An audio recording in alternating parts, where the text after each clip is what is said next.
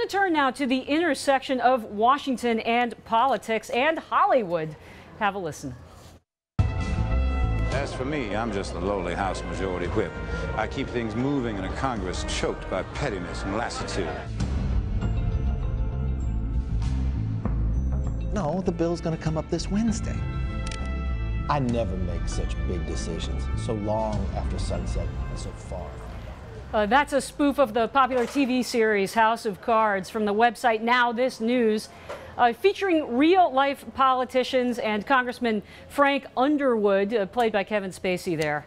Uh, what does it say about Washington? What does it say about our elites, our society? Declarations columnist Peggy Noonan stays with me now. Peggy, so uh, is this unusual to have a politician uh, playing a, a fictional politician? What does it say about us as a country? It says things have gotten a little goosey and frivolous in Washington, D.C., when congressmen of both parties are more or less aligning themselves or helping the promotion of a television show that tells the American people Washington is irredeemably dark, nihilistic, selfish. They will never help you. They will only help themselves. But hasn't it, isn't, hasn't Washington always been that way? I mean, is this really a surprise? Well, if it has to greater and lesser degrees always been that way. Tell me what it, what good it does for American office holders to look at America and say, this is what it is, now let me rub your face in it. we no longer try to hide it. I mean, a part of your responsibility when you are a leader in politics and media, in business, is to try to be a good person, maintain a certain decorum, maintain a certain internal stature, if you cannot do it, it is your responsibility to fake it. Why? Because children are watching. They need something to reach at, something to be a little dreamy about. You know, something.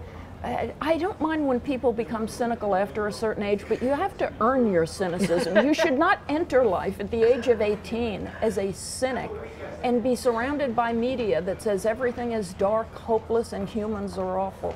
And so you go through life with that attitude. But Peggy, maybe the politicians are reflecting what they see in the broader society that it's impossible to hide what Washington is really like from anyone, from adults, from kids. They have access to social media, newspapers online, TV everywhere. I mean, aren't they simply telling it as it is? why don't you just try to be a good person?